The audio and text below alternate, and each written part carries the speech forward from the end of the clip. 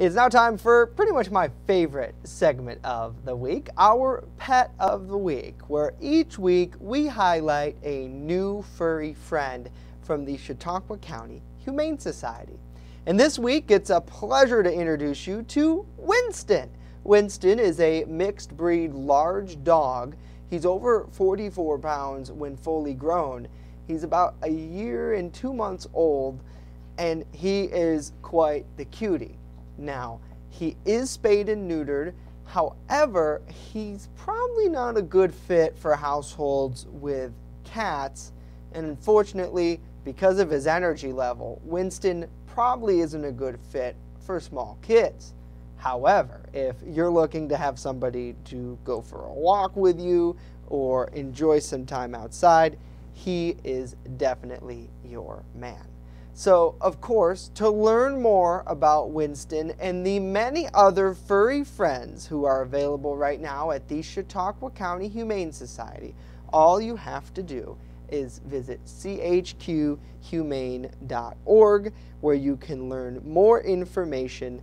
And uh, certainly it's, it's great to, to see Winston and he is such a uh, good looking dog. And you know, the Humane Society has a lot of great looking dogs there, and cats, and even other animals as well. So, chqhumane.org is the best place to uh, learn more about the pets. And speaking of our furry friend Winston, joining us live now is Brian Papalia. He is the communications uh, director at the uh, Humane Society. Brian, thanks so much for uh, tuning in today. We, we appreciate you. And I've already introduced our friend Winston here on the broadcast. So if you can, tell us a little bit more about him. I just caught the tail end of that, no pun intended. And I've got Amanda Sublet here from our staff, and she's going to tell you a little bit more. We have both Sage and Winston out here. So I'm gonna get Amanda in the picture here. Hi guys. And so we've got Winston is over. I'm gonna switch it around now that you've Winston right now. So tell us a little bit about Winston. Winston is all around a great. He's very social. He's easygoing but energetic at the same time. Uh, just not a fan of cats, really. That's our only hangup. Isn't he gorgeous? Yeah, he, he definitely is. And I, it seems like we have a, a, special this week two dogs on the Pet of the Week. Uh, who else do you have with you today? Yeah, we're going to come over here and see Sage, and I'll let Amanda talk a little bit about Sage. Sage is another great guy. Great match for him. Definitely also not a fan of cats. And for him, we're not going to go with little children because he's very rough and rowdy we don't want those little guys getting hurt.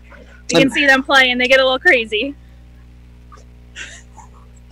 Oh yeah, that looks like the the fun times at my mom's house. She has uh, two dogs, and boy, they they they really uh, enjoy themselves. It looks like they are out there today too, um, at the Humane Society.